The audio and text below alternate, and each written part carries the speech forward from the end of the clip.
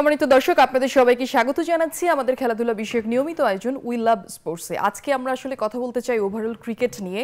সামনে যেহেতু অস্ট্রেলিয়া আছে অস্ট্রেলিয়ার সাথে বাংলাদেশের পারফরমেন্সটা কেমন হবে সেই সব বিষয় নিয়ে আলোচনা করতে চাই। আলোচনা করতে আমাদের সাথে যুক্ত হয়েছেন বাংলাদেশ জাতীয় দলের সাবেক ক্রিকেটার নিয়ামর রশিদ রাহুল এবং হাসিবুল হোসেন শান্ত। আপনাদের দুজনকে স্বাগত জানাচ্ছি।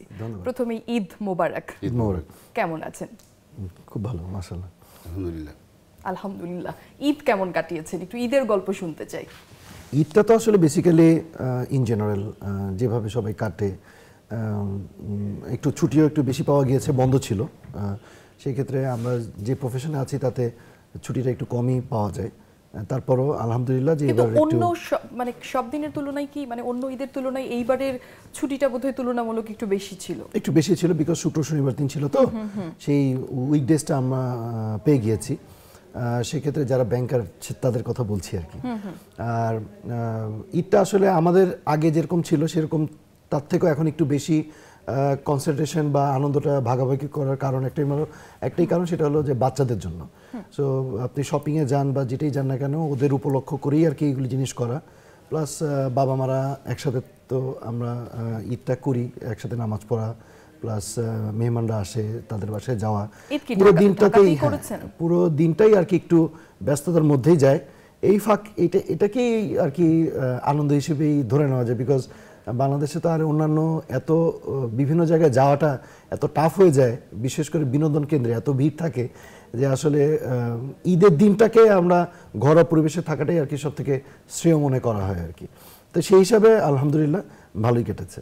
ঈদ কি ঢাকাতেই করেছেন? ঈদ ঢাকাতেই হয়েছে। বাহ মানে আমাদের যে ট্র্যাডিশনাল যে জ্যামটা থাকে সেটা অ্যাটলিস্ট আমরা আসলে এই ঈদের মৌসুমটাতে আসলে দেখতে পাই না।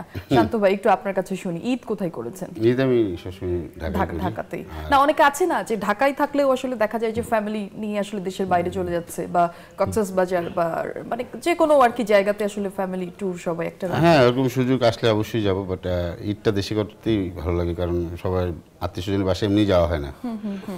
তো ওই দিনটা আসলে বিশেষ করে তখন অনেকের বাসায় যাওয়া হয় সবচেয়ে বড় জিনিস। এছাড়া অন্য সময় যদি চিন্তা করেন তাহলে কিন্তু আমরা একদমই যাই না। তো ঈদের দিনটাকে ওই জন্য ধরে রাখি ওই দিন আমরা মানে বউ বাচ্চা যারা সবাইকে নিয়ে আর কি আত্মীয় স্বজনের বাসায় ঘুরে করি। বাহ! মানে এটাই আসলে আমাদের মনে হয় যে সবচেয়ে বেশি মজা যে অন্য নর্মালি তো আমরা আমাদের আসলে সময়টা খুব কম থাকে।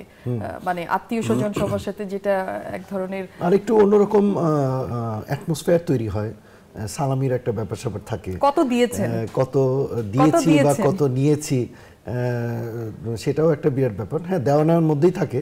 মানে কত কত দিয়েছি? সেটা না বলে কত পেয়েছি সেটাও দুটোই আমি শুনতে দুটোই আর কি উজ্জ্বল রাখাই ভালো বাট তারপরেও যারা দিয়েছেন সেই হিসেবে আমরা তাদেরকে অবশ্যই মানে সম্মান করি। সর্বনিম্ন নোট কত পেয়েছেন? এক টাকা থেকে শুরু করে এক হাজার টাকার মধ্যে কোন নোটটা মানে তবে সর্বনিম্ন নোট? আপনার থেকে বেশি পেয়েছি আপনার তো চব্বিশ টাকা পেয়েছিলেন মনে হয়। হ্যাঁ আপনার থেকে আমি বেশি পেয়েছি।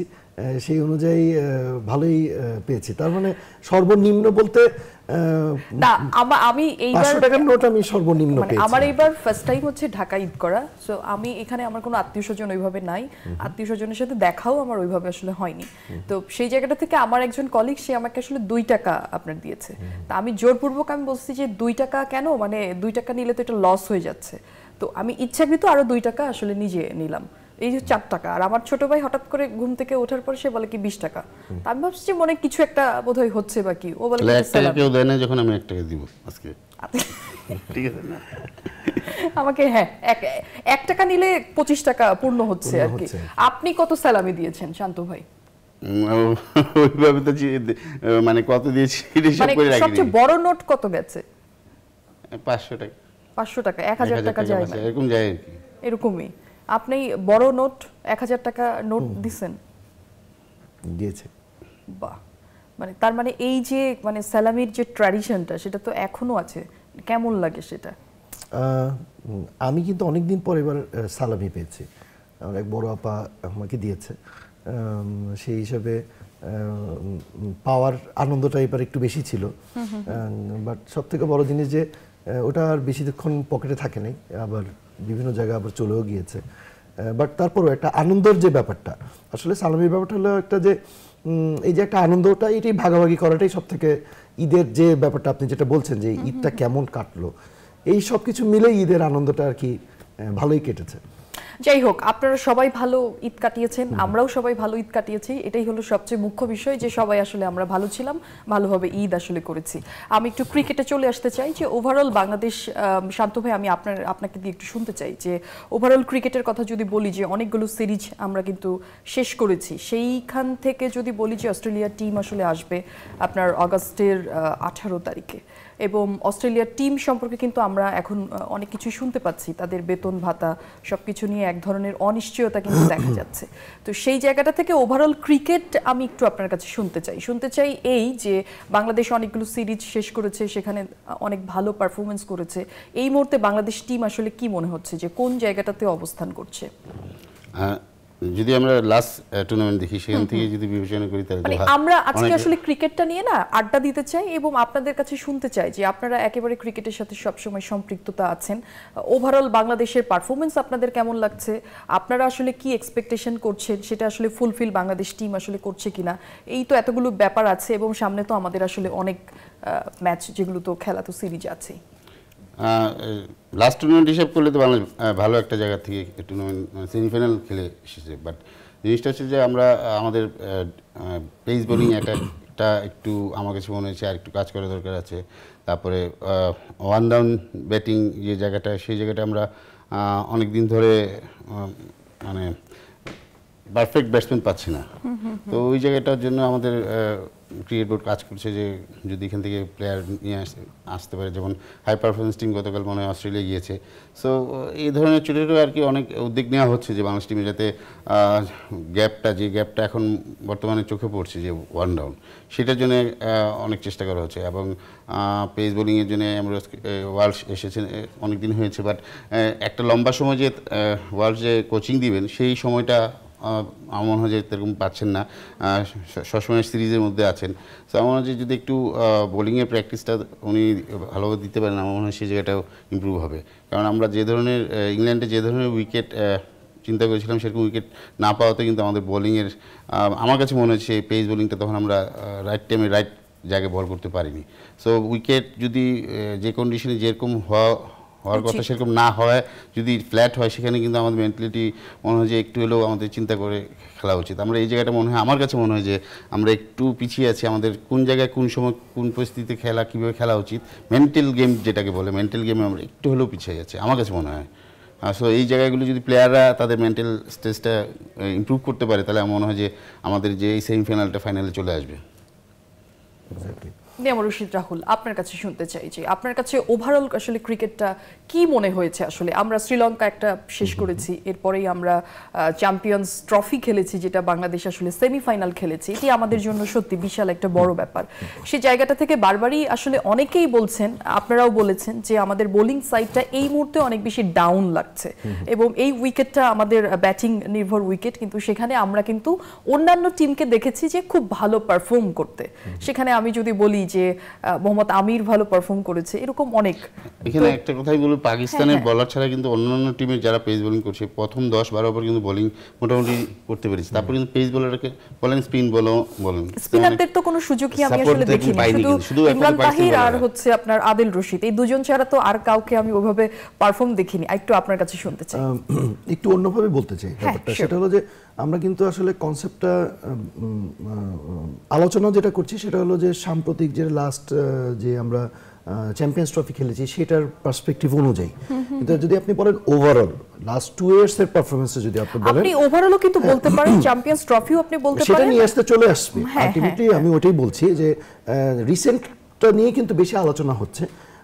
যদি আপনি রিসেন্টের ব্যাপারে যদি চিন্তা করে দেখেন আমার সাফল্য বলতে আমি দুইটা সাইড দুইটা সাইডকে আমি বেছে নিব। এক তামিম ইকবালের পারফরমেন্স আর দুই নম্বর হলো পুরা চ্যাম্পিয়ন্স ট্রফিতে সাকিব এবং মাহমুদুল্লাহর এই পার্টনারশিপ এই দুইটার সাকসেস ছাড়া কিন্তু আমি কোনো সাকসেস দেখি না। মানে যদি আপনি ইন্ডিভিজুয়ালি যদি চিন্তা কিন্তু করে সবাই- সবাই বলছে। হ্যাঁ বোলিং এর ব্যাপারে শান্ত যেটা বলল সেটা আমরা দেখেছি কি কারণে হচ্ছে না। আপনি দেখেন আস্থার ব্যাপারটা কিন্তু একটা ইম্পর্টেন্ট ব্যাপার। কোচ একটা সাজেশন দিবে প্ল্যানিং দিবে সবকিছু করবে বাট কাজটা করতে হবে কিন্তু ক্রিকেট প্লেয়ারদেরই আমরা যখন ক্রিকেটে আমরাও তাই করতাম, আমরা কোচ আমাদের দিত বাট আমাদের মাঠে সেই পারফরমেন্সটা করতে হতো। এইটা যতক্ষণ পর্যন্ত না আপনার বলাররা তাদের নিজস্ব আস্থাটা না অর্জন করতে পারবে যে আমার এই পারফরমেন্সটা আমার এই উইকেটে কীভাবে দেওয়াটা উচিত এবং কীভাবে আমার, আমি, আমাকে অ্যাডজাস্ট করে নিতে হবে, সেটাই কিন্তু আপনার ডেভেলপমেন্ট এবং এক্সপিরিয়েন্সের একটা ব্যাপার। কেন সাকিব বারবার এত কনসিস্টেন্সি পারফরমেন্স করছে? কেন রাহুল ভাই আপনি যদি আমাকে অনুমতি দেন একটা ফোন নিই। হ্যাঁ শিওর কেন দর্শক কে আছেন আমার সাথে এই মুহূর্তে? ইসলাম আলাইকুম আমি সোহেল রাবাজার থেকে বলছি। একটু লাউডলি বলতে হবে বলছি। যে আমি আমি আমার নাম সোহেল আমি ঢাকা রায়বাজার থেকে বলছি। শান্ত ভাইয়ের কাছে একটা প্রশ্ন ছিল। জি। প্রশ্ন হচ্ছে শান্ত ভাই আমাদের লোয়ার ব্যাটসম্যানদের কি রান করা কি নিষেধ?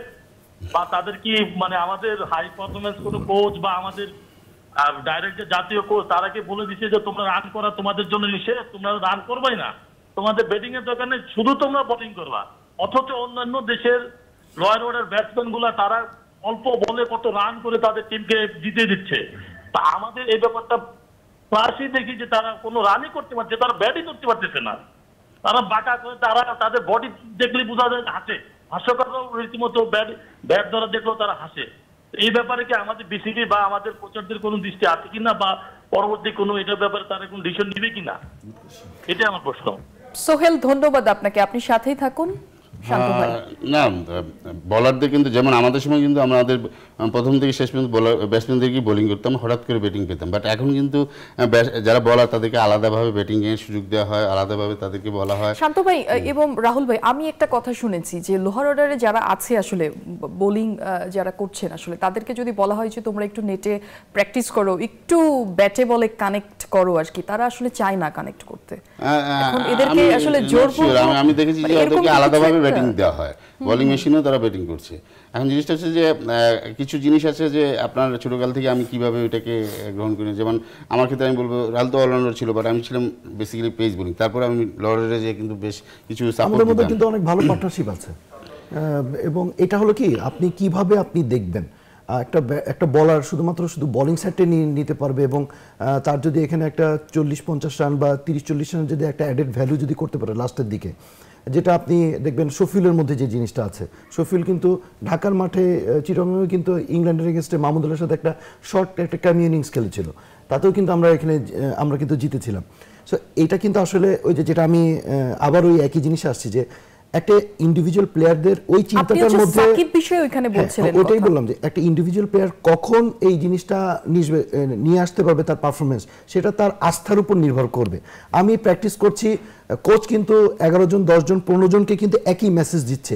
কিন্তু কেন সাকিব জিনিসটাকে এত কুইক রপ্ত করে নিচ্ছে কেন? মাহমুদুল্লাহ এত কুইক জিনিসটা গ্রহণ করছে কেন? অন্যরা করতে পারছে না। কেন মুশফিক তামিমরা কনসিস্টেন্সি পারফরমেন্স করছে? আরেকটা জিনিস আমি একটু বলতে চাই সেটা হলো যে এদের মধ্যে কিন্তু একটা ছুপায়িত প্রতিদ্বন্দ্বিতা কাজ করে। হ্যাঁ, হ্যাঁ মানে আমি বলছি যে লুকায়িত যেটা আমি বলতে চাচ্ছি সে- সেটা হলো যে আপনি দেখেন সাকিব যদি সাড়ে সাড়ে চার হাজার রান করে তামিম কিন্তু তার পিছিয়ে পিছিয়ে কিন্তু দৌড়তে থাকে। মুশফিকও কিন্তু তার পিছিয়ে পিছিয়ে দৌড়তে থাকে। তাদের মধ্যে কিন্তু একটা নিজস্ব কিন্তু একটা প্রতিদ্বন্দ্বিতা থাকে যে না সাকিব তামিম মুশফিক যদি করতে পারে তাহলে মাহমুদুল্লাহ কেন করতে পারবে না? সেটা এক্স্যাক্টলি আমি একটু আপনাদের কাছ থেকে ইন্ডিভিজুয়ালি আসলে শুনতে চাই যে আমরা এই চ্যাম্পিয়ন্স ট্রফিতে আমাদের সবচেয়ে বেশি আশা ছিল সাকিব আল হাসানের কাছ থেকে এবং মোস্তাফিজের কাছ থেকে। সেখানে সেই জায়গাটাতে আমরা আসলে ব্যর্থ হয়েছি। কেন হচ্ছে ব্যর্থ সেটা আমি আপনাদের কাছ থেকে শুনব বাট তার আগে একটা ব্রেক নিতে চাই। দর্শক ছোট্ট একটা বিরতিতে যাচ্ছি সাথেই থাকেন ফিরছি খুব শীঘ্রই।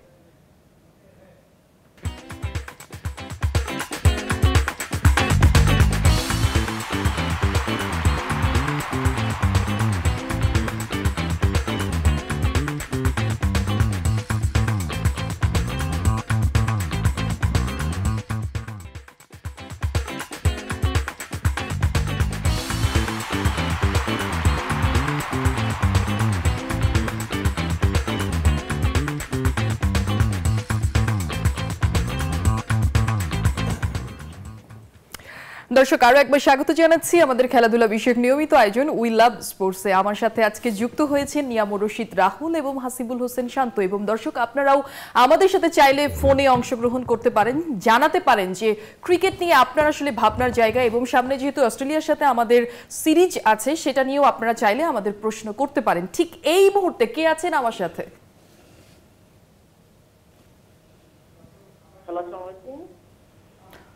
ওয়ালাইকুম আসসালাম ঈদ মোবারক। বলুন আমরা সবাই শুনছি। আমি সিলেট থেকে সবাব বলছি নিয়ামুর স্যারের কাছে আমার একটা প্রশ্ন ছিল। রাহুল ভাই জি শুনছেন উনি বলুন। যে আমার যেটা মানে মনে হচ্ছে আমাদের বাংলাদেশ টিমের ব্যাটিং অ্যাটাক থেকে বোলিং অ্যাটাকে কিছু দুর্বলতা রয়েছে আমরা যত সবাই জানি। সেই বোলিং এটাকে বৈচিত্র্যটা কিন্তু অন্যান্য দেশের যে যেমন সিমার, সিমারদের কথাই আমি বলি, সিমারদের যে বৈচিত্র্যটা রয়েছে, আমাদের দেশের সিমারদের সেই বৈচিত্র্যটা নেই। ধন্যবাদ আপনাকে আপনি করে সাথে থাকুন। উনি যেটা বলছে যে আমরা আসলে বোলিং নিয়ে আলোচনা করছি এখানে কিন্তু অলরাউন্ডার এবং সেই হাতে আমাদের একজন কিন্তু পেসার উনি আছেনই। ওনার কাছ থেকেও শুনব আসলে যে সিমার নিয়ে বলছেন যে সিমারদের আসলে যেই বৈচিত্র্যটা আসলে দেখার কথা বা আমরা আসলে যা দেখতে চাই সেটি আসলে এই চ্যাম্পিয়ন্স ট্রফিতে দেখতে তো পাইনি এবং সেটা আসলে বৈচিত্র্যটা আসলে নেই কেন যেটা অন্য দেশের আছে? কি মনে হয়?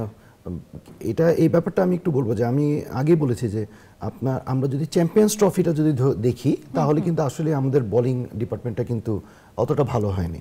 অতটা না, একদমই ভালো হয়নি। আমরা ব্রেক থ্রু ঠিক মতন দিতে পারি নাই। আমাদের ঠিক যেভাবে আমরা লাস্ট দুটো বছর যেরকম আমরা খেলে এসেছি সেরকম না। কিন্তু আপনি ওভারঅল আপনি চিন্তা করে দেখেন যে বাংলাদেশ টিমের এই চারজন এবং পাঁচজন পেসারই কিন্তু একটা সময় তারা গুড রেজাল্ট এনে দিয়েছে। এবং- ম্যাক্সিমাম জয়ের পিছনে জয়ের পিছনে ব্যাটসম্যানরা তো করেইছে ওরা তো ভালো পারফরমেন্স করেছে। বাট যত দিন পর্যন্ত না বলাররা সাপোর্ট না দিয়েছে ততদিন কিন্তু জয়টা অত সহজে আসে নাই। সো আপনি ব্যাট প্যাচ একটু যেতেই পারে। আমরা একটু মুস্তাফিজ নির্ভর একটু বেশি হয়ে গিয়েছিলাম বিকজ আমরা এমন একটা মানে বিস্ময়কর বালক আমরা পেয়েছিলাম যে আপনি বল করলে চার, পাঁচ উইকেট পেত ব্রেক থ্রু দিয়ে দিত, পরের দিকে রান হয়তো কম দিত এবং রান কম দেওয়ার সাথে সাথে উইকেটও পেত।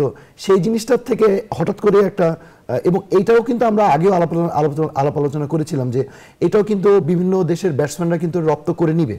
এই, এখান থেকে মুস্তাফিজকে তার এইটাকে আরও বেশি ডেভেলপ করার জন্য এবং তার কিছুটা ইনজুরির জন্য কিন্তু তাকে আবার স্বরূপে ফিরতে তার একটু সময় নিচ্ছে। তো আমার কাছে মনে হয়েছে যে এটাও সে হয়তো খুব তাড়াতাড়ি ফিরে আসবে এবং বৈচিত্র্যটা আবারও আমরা দেখতে পারব। আমাদের সামনে আবার দেশের মাটিতে সিরিজ আছে আমাদের বলার এবং যারা অলরাউন্ডার আছে তারাও স্বরূপে আবার ফিরে আসবে। একটু ধৈর্য রাখতে হবে। আর কাটনিয়াস যেটা বলছিলেন যে কাটনিয়াস কিন্তু আলটিমেটলি খুব বেশি লং সময় কিন্তু পায়নি। যে বলারদেরকে বা বলারদেরকে ট্রেনিং করার জন্য বা তাদের সাথে কোচিং করার জন্য। তো এই জিনিসটা বিকজ মাঝখানে অনেকগুলি সিরিজ আমাদের ঢুকে পড়েছে। তো এবার মনে হয় হয়তো পেয়ে যাবে। সেক্ষেত্রে তাকেও কিছু একটু সময় দিতে হবে। আমার মনে হয় যে তার এক্সপিরিয়েন্সটা হয়তো বাংলাদেশ টিমের বলাররা আরও বেশি কাজে লাগবে।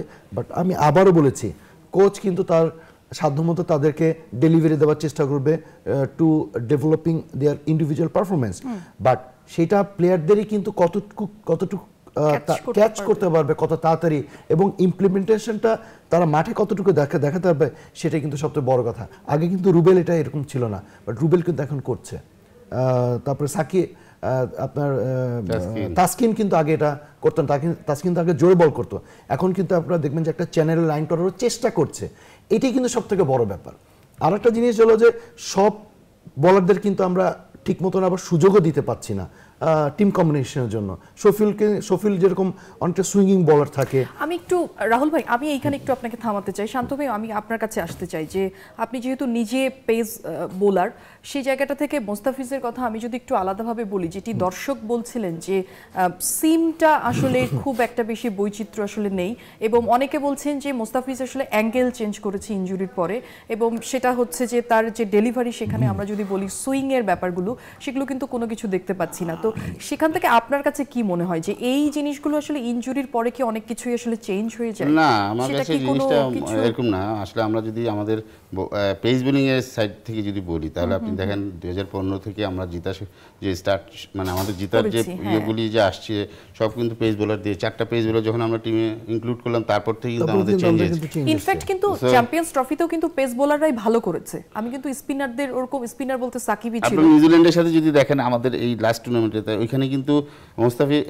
মোসাদ্দেক এসে তিনটি উইকেট পেয়েছে বাট মোস্তাফিজ কিন্তু প্রথম তিন ওভারে দিয়েছিল আঠারো বিশ একুশ রান। 21 রান। তারপরে পরে সাত ওভারে বিশ রান দিয়েছে একটা উইকেট সো আমার কাছে মনে হয় যে মোস্তাফিজের ব্যাপারটা হচ্ছে যে খুব বেশি গণমাধ্যমের কথাবার্তা সবার আশা. আকাঙ্ক্ষাটা এত বেশি সবাই এত কথা বলছে এটা করো এটা করো। তাকে এত প্রেশারের মধ্যে ফেলানো হচ্ছে যে তার স্বাভাবিক খেলাটা খেলতে পারছে না। সে বিভিন্ন ধরনের কথা এদিক থেকে এদিকে আসাতে তার মেন্টাল যে পিস থেকে যে বল করা বা তাকে যে চিন্তা করার যে সুযোগটা দেওয়া, সেটা হচ্ছে না। আমার কাছে সেটাই মনে হচ্ছে এবং মাত্র নতুন এসেছে তাকে এত প্রেশার যদি দেওয়া হয়, গণমাধ্যমটা এত বেশি কথাবার্তা হয়, তো যার ধরুন হয়তো বা তার ন্যাচারাল যে মানে বোলিংটা করবে বা তার মন মতন যে বোলিংটা করবে, সে জায়গায় সে কনফিডেন্সটা পাচ্ছে না। তাকে কনফিডেন্স দিতে হবে এবং আমার মনে হচ্ছে কনফিডেন্সটা যখনই পাবে এই অ্যাঙ্গেল বলেন আর ইঞ্জুরি বলেন কিছুই থাকবে না কথা কিন্তু। কিন্তু কথাটা হচ্ছে যে আমরা তাকে এত কথা না বলে তাকে তার মতন বোলিং করতে দিই আমরা। আমাদের মনোযোগ ওকে চিন্তা না করে আমাদের টিমকে কোন সাইডটা খারাপ বা ওকে একদম টোটালি বাদ দিয়ে ওকে ওকে মতন খেলতে দেওয়া উচিত। আমাদের আমাদের ব্যাটিং ফিল্ডিং অন্যান্য যারা সাবজেক্টগুলো আছে সেগুলো নিয়ে বেশি চিন্তা করা উচিত। ওকে নিয়ে বেশি মানে কথাবার্তা হচ্ছে যেটা স্টপ করা উচিত। আমাদের ক্যাপ্টেন মাশরাফি বিন মোর্তজা সবসময় কিন্তু একটা কথা ও কিন্তু বলেই এসছে। যে মুস্তাফিজ, মুস্তাফিজের কে ছেড়ে দেন, ও এখন ইন্টারন্যাশনাল এরিনাতে ও খুব কুইক সাফল্য পেয়েছে বাট যখন ওর এই জিনিসটা বুঝে যাবে যখন সে উইকেট পাবে না বা যখন স্ট্রাগল করবে, তখনই কিন্তু তার মুড এক্সপিরিয়েন্সটা কিন্তু তখন তাকেই বুঝতে হবে। সো অ্যাডজাস্ট কিন্তু তাকেই করতে হবে। সো যেটা ও বলল যে ইনজুরি থাকবে, এটা part of cricket part of life এটাকে আপনাকে ওভারকাম করে খেলতে হবে। এক সময় ওরও ইনজুরি ছিল। তখন হয়তো আমরা ফিজিওর আমরা ফিজিও পেয়েছি in the year of nineteen ninety nine Robert Hahn তার আগে কিন্তু আমরা জাওয়াদ ভাইয়ের কাছেই প্যারাসিটামল এগুলি নিয়ে কিন্তু আমাদের চলে যেতে হতো। বাট এটি কিন্তু একটা মেন্টাল ফ্যাক্টর ও ঠিক যে ঠিক যেভাবে কাম ব্যাক করতো ও যখন রিদম পেয়ে যেত তখন কিন্তু ইঞ্জুরিটা দশ ওভার কিন্তু মাথায় থাকতো না। ওর তখন কাজ থাকতো how to perform how to get wickets সেটাই হলো সব থেকে বড় কথা। আমাদের এখানে হলো যে ইঞ্জুরি আছে প্রথম পাঁচ ওভার করতে হবে। প্রথম দশ ওভার করতে হবে। খুব ভালো কথা। কিন্তু সেটাও কিন্তু চিন্তা করতে হবে যে পারফরমেন্সটাও কিন্তু এখানে কাউন্ট করছে। টুডে আর টুমোরো কিন্তু রাহুল ভাই, কিন্তু এখানে একটা কথা বলব যে এখানে জিনিসটা হচ্ছে ও- উইকেট না পাওয়াতে প্রথম দিকে ব্যাটসম্যানরাও তাকে কিন্তু সহজে চার্জ করতো না। যখন সে উইকেট পাচ্ছে না তখন সে এলোমেলো বল করছিল। তখন ব্যাটসম্যানরা সেটাকে ইউটিলাইজ করেছে। সো আমার মনে হয় যে এই- যে উইকেট না পাওয়ার প্রেশারটা সেখান থেকে তার খারাপ বোলিং স্টার্ট হয়। আর ব্যাটসম্যানরাও তাকে কিন্তু যেগুলো পেরেছে। একটু দেখে শুনে খেলছিল। আর উইকেট না পাওয়াতে সে কিন্তু ব্যাট বলের সংখ্যা তখন সে উইকেটের জন্য যাচ্ছিল ব্যাট বল হচ্ছিল আমি যদি স্বাভাবিক খেলার কথা বলি যে স্বাভাবিক খেলা কি মুস্তাফিজের এখন এইটাকে স্বাভাবিক খেলা বলব? নাকি আগে আমরা যদি বলি পাকিস্তানের সাথে যখন ডেবু হয়েছে এবং এরপরে যখন ইন্ডিয়ার সাথে খেলেছে যেই দুর্দান্ত আমরা দেখেছি হ্যাঁ এত উইকেট দেখেছি। ওইটাই কি স্বাভাবিক খেলা ছিল না? ছিল না চিন্তা ছিল না আহ, জনগণ কোনো ওই ধরনের আশাও ছিল না যে ও এত ভালো করবে। যেই ভালো করা শুরু করল তখনই তার মধ্যে তার তার চারিদিক থেকে অনেক ধরনের প্রেশার আসা শুরু যেটা কাঁধে একটা মানে আচ্ছা এইটা আমি শুনব রাহুল ভাই এইটা আমি শুনব তার আগে একটা ফোন নিতে চাই। দর্শক কি আছেন আমার সাথে এই মুহূর্তে? সালাম আলাইকুম। সালাম আলাইকুম। হ্যালো। সালাম আলাইকুম। বলুন আমরা সবাই শুনছি। আমি আশরাফ বলছি উত্তরা থেকে। বলুন। আমি বলছি যে মুস্তাফিজকে যখন আমরা প্রথম আবিষ্কার করলাম তখন কিন্তু দেশের অন্যান্য বাইরের যে ক্রিকেটাররা বা অন্যান্য টেস্ট প্লেয়াররা তারা সেভাবে আবিষ্কার করতে পারেনি। কিন্তু তারা যেভাবে মুস্তাফিজকে নিয়ে স্টাডি করেছে এবং মুস্তাফিজকে কীভাবে খেললে তারা ভালোভাবে খেলতে পারবে সেটা নিয়ে স্টাডি করেছে। কিন্তু পরবর্তীতে মুস্তাফিজকে নিয়ে আমাদের স্টাডিটা থেমে গেছে। যেমন এই যে স্টিবোয়া এই অস্ট্রেলিয়ার ব্যাটসম্যান অন অনে মারতে যেয়ে কিন্তু ক্যাচ উঠাই দিছিল মুস্তাফিজকে কিন্তু ওই জায়গায় আমাদের ফিল্ডার ছিল না। তেমনি কোহলিরও ফিল্ডার কিন্তু অনে এই খেলতে যে দেখ ওই যে কাটা খেলতে যে অনেক কোচ ওইখানে তার ক্যাচ উঠছিল। কিন্তু ওইখানে সেম সেমলি কিন্তু ফিল্ডার ছিল না। এভাবে দেখা যায় মুস্তাফিজের অনেকগুলো কিন্তু ক্যাচ উঠছে কিন্তু আমরা সেগুলো ওভাবে পাইনি। এবং এটা কিন্তু কমেন্টেটররাও বলছে। আমার কথা হলো গিয়ে মুস্তাফিজকে নিয়ে যে বাইরে ওরা যেভাবে স্টাডি করছে কিন্তু পরবর্তীতে মুস্তাফিজকে কীভাবে আরও ইউটিলাইজ করা যায় সেখানে আমাদের তেমন স্টাডি ছিল না। আশাফ ভাই ধন্যবাদ আপনাকে। আপনি সাথেই থাকুন। আমার মনে হয় আমার দুই অতিথি এই নিয়ে আসলে কথা বলবেন। কি বলা সুন্দর উনি ভীষণ ভালো কথা বলেছেন এবং খুবই ফিল্ডিং প্লেসিং যে হ্যাঁ। ব্যাটিং করছে তার ফিল্ডিং তার অনুযায়ী এবং যে বোলিং করছে সেই অনুযায়ী ফিল্ডিং পেসিং করে বল করাটাও একটা বিশাল ব্যাপার এবং সে যেটা বললেন উনি ওই জায়গাগুলিতে ক্যাচও গিয়েছিল। বাট জিনিসটা হচ্ছে যে সিচুয়েশন মাঠ সব কিছু মিলিয়ে ফিল্ডিং সাজানো হয়। বাট তারপরেও উনি ভালো বলেছে যে ওকে নিয়েও আমাদের চিন্তা করা উচিত যে ওকে যে জিনিসটা আসলে আমি বলব যে হ্যাঁ এই যে প্রেশারটা এই প্রেশারটাকে আগে দূর করতে হবে।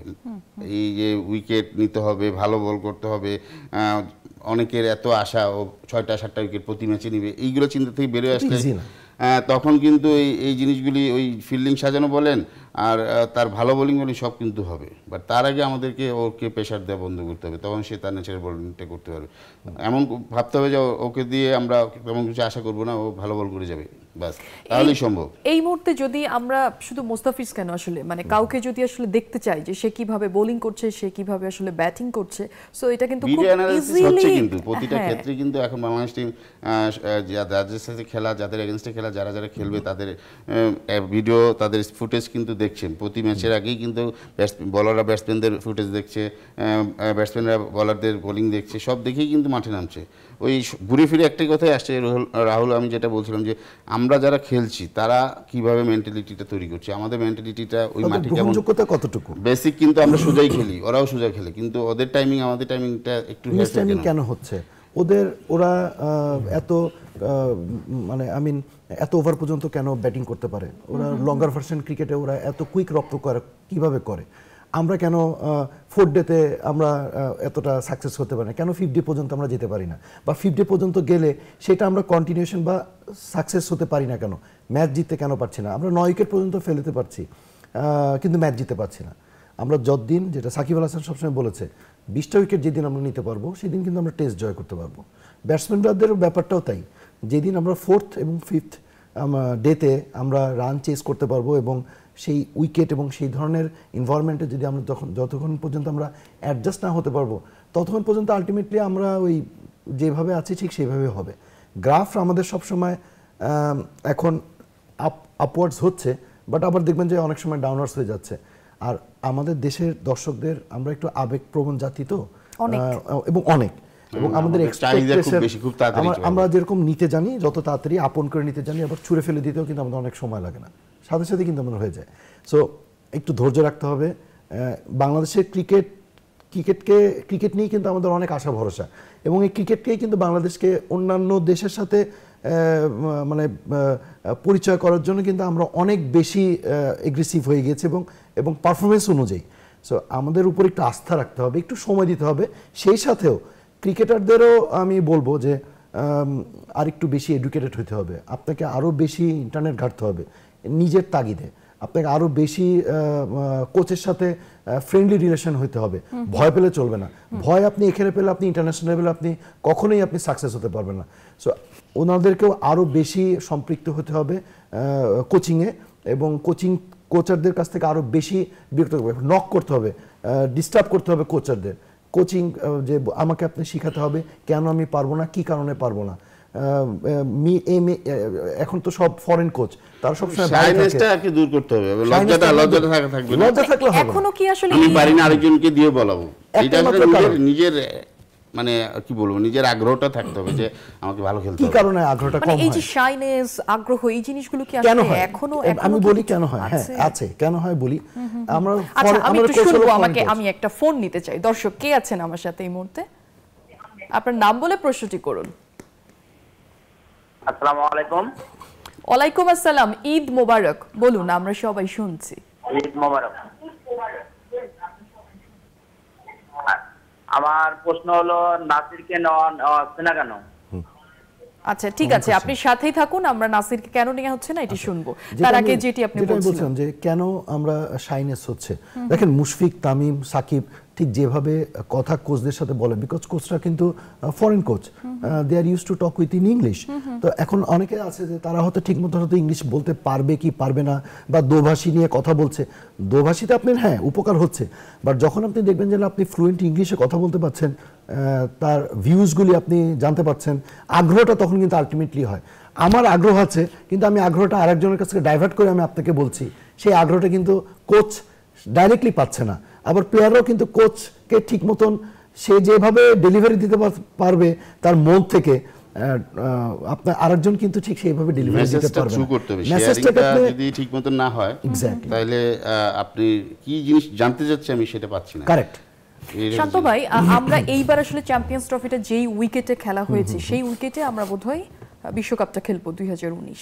ইউ নেভার নো এর থেকে আরও বিশ্বকাপের ব্যাপারটা আরও অনেক বেশি ইয়ে হবে আরও অনেক হ্যাঁ মাঠ হবে। সেটা হয়তো অনেক কিছু হতে পারে। আমি একটু শান্ত কাছ থেকে হ্যাঁ মানে কেমন আসলে হতে পারে সেটা আমি একটু শুনতে চাই আপনার কাছে। আমি শুনব তার আগে আমাকে একটা ব্রেকে যেতে হবে। দর্শক আমি ছোট্ট একটা বিরতিতে যাচ্ছি সাথেই থাকেন ফিরছি খুব শীঘ্রই।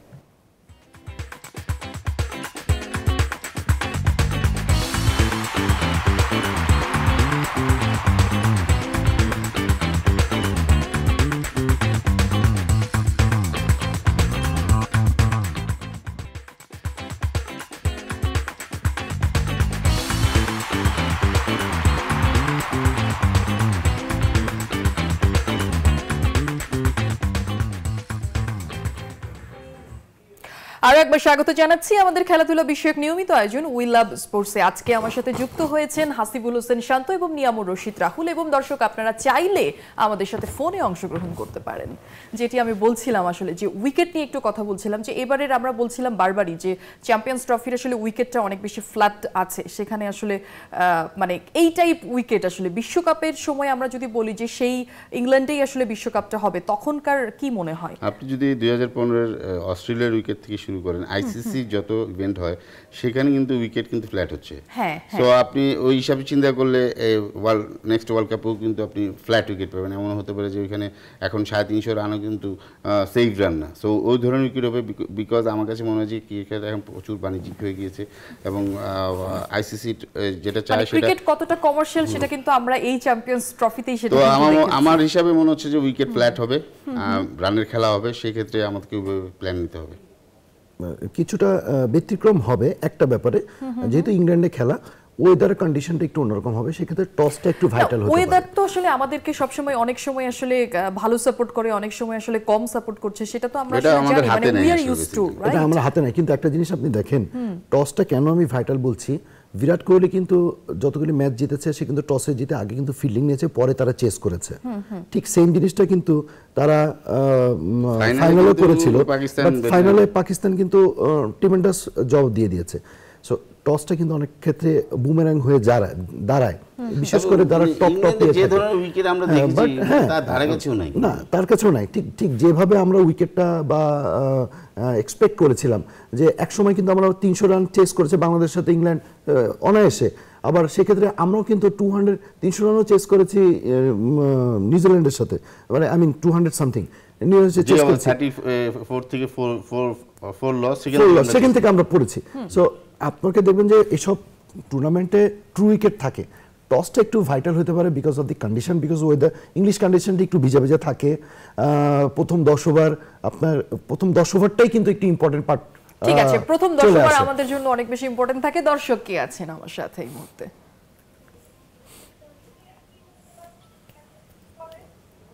হ্যালো শুনতে পাচ্ছেন আমাকে? জি ওয়ালাইকুম আসসালাম ঈদ মোবারক। বলুন আমরা সবাই আপনাকে শুনছি। হ্যাঁ শান্ত ভাই আর নিয়ম রশিদ মোবারক ভালো আছেন সবাই? জি, ভালো। আলহামদুলিল্লাহ। হ্যাঁ আমার কোশ্চেন ছিল ওই শান্ত ভাই ওই আমাদের যে স্কিল কোচ তো এই কোচের তো মানে সেরকম কোনো পরিচিতি নাই। তো আমাদের সাকলিন মুস্তাক থাকতে তো খুব ভালো বোলিং ছিল স্পিনটা তো আপনি আরও বেটার বলতে পারবেন আমার থেকে। তো সাকলেন মুস্তাককে কি আরেকবার নিয়ে আসা যায় নাকি? আর ভাই আরেকটা কোশ্চেন ছিল নাম্বার তিনে আমাদের টেস্টের সেরা ব্যাটসম্যান মমিনুল হককে কি ট্রাই করা যায় না? ওর প্রতি যে অফিসিয়াল করা হচ্ছে। ভালো কোশ্চেন আর ভাই আপনার জন্য একটা পার্সোনালি আপনার বোলিং দেখেছিলাম আমি ওই বঙ্গবন্ধু স্টেডিয়ামে থাকতে। সেটা হলো আপনার একটা ডেলিভারিতে বোল্ড হয়ে গিয়েছিল। কিন্তু আম্পায়ার নো দিয়েছিল। আমরা দেখেছিলাম সবাই এটা নো হয়নি। ব্যাড লাক ছিল। আহ, আপনার নামটা বলবেন? কোথা থেকে বলছিলেন? আমার খিলগা থেকে জনি বলছি। জনি জি সাথেই থাকুন। আহ, মানে তার প্রশ্নগুলো কিন্তু মানে বোঝাই যাচ্ছে যে আমাদের দর্শকরা আসলে কিন্তু ক্রিকেটটাকে এখন আসলে কত কাছে থেকে দেখে। অফকোর্স এবং দর্শকরাই তো আলটিমেটলি ক্রিকেটটাকে বাঁচিয়ে রেখেছে এবং ওনারা না থাকলে কখনোই হতো না। তো থ্যাংক ইউ ভেরি মাচ সাকলাইনের ব্যাপারটা আমি বলি হ্যাঁ, হ্যাঁ, যেটা উনি বলছিল যে স্পিন বলার কোচ যে এখন যিনি আছে নন ফেস ফেস নন আর কি বাট সাকলাইনের ক্ষেত্রে হচ্ছে যে তাকে রাখতে চেলেও আমাদের ওরও কিছু জিনিসপত্র যেটা অফ কন্ট্যাক্ট আছে সেখানে সে অনেক আমাদের যে ধরনের চাহিদা সেখান থেকে অনেক বেশি তার ডিমান্ড ডিমান্ড এবং তিনিও থাকতে চান না ওইভাবে। মানে সবকিছু মানে কন্ট্রাক্ট না মিলাতে হয় না আর কি। ম্যাচটা বাইরে না হওয়াতে আর কি সাকলাইনকে রাখা যায় না বাট বাংলাদেশ ক্রিকেট বোর্ড কিন্তু চেষ্টা করেন যে কোনো কোনো সময় টপ কিছু আনতে এবং দেখা যায় যে অনেক ক্ষেত্রে সিরিজের আগে একটা মাস আগে হয়তো তাকে কন্ট্যাক্ট ওয়াইজ আনা হয়। সো এটা আসলে বোর্ডের প্ল্যানিং এর উপর নির্ভর করছে এবং কিছুদিন আগে কিন্তু আচ্ছা আমি left শোনার আগে একটু শুনতে চাই রাহুল ভাই। যে হ্যাঁ, মমিনুলের কথাটা উনি বলছিলেন জনি খিলগা থেকে কিছুদিন আগে কিন্তু আপনার ভেঙ্কট ভেঙ্কট প্রসাদ রাজুকেও কিন্তু নিয়ে এসেছিলেন লেফট আর্ম স্পিনার এখানে। সো বাংলাদেশ ক্রিকেট বোর্ড কিন্তু টপ টপ প্লেয়ারদের কিন্তু নেওয়ার চেষ্টা করে। বাট অনেক সময় তাদেরকে হয়তো এই ডিমান্ড এবং অন্যান্য ক্ষেত্রে বা টাইমিং কনজিউমের জন্য হয় না। মমিনুলের ব্যাপারটা হলো, মমিনুল ডেফিনেটলি ও একজন পরীক্ষিত ব্যাটসম্যান ওয়ান ডেতেও তার অনেক ইমপ্রুভমেন্ট আসছে। ঘরোয়া ক্রিকেটেও কিন্তু আপনি দেখবেন যে খুব বেশি কিন্তু কনসিস্টেন্সি পারফরমেন্স করেনি। একটা মাত্র দেড়শো রান প্লাস দুটো হয়তো পঞ্চাশ ছিল। বাট সেই অনুযায়ী কিন্তু আরও অনেকে ভালো ভালো পারফরমেন্স করছে। তো আমার কথা হলো যে সুযোগটা যেহেতু সে একটা এক্সপিরিয়েন্স সে টেস্ট খেলছে তাকে যদি আপনি টেস্ট করাতে পারেন। বাট আরেকটা ব্যাপার হলো যে ওর থেকে আরও যদি কেউ বেটার থাকে আপনাকে সুযোগ দিতে হবে। সুযোগ কিন্তু দিচ্ছে আবারও কিন্তু একই কথাই আসছে। সুযোগ দিচ্ছে কিন্তু সুযোগটা আসলে কিন্তু যে প্লেয়ারদেরকে কি নিতে হবে কিন্তু। প্লেয়াররা কিন্তু আপনার- হ্যাঁ, নিতে পারছে না। আমি আরেকটা ফোন নিতে চাই। দর্শক কে আছেন আমার সাথে এই মুহূর্তে? আপনার নাম বলে প্রশ্নটি করুন।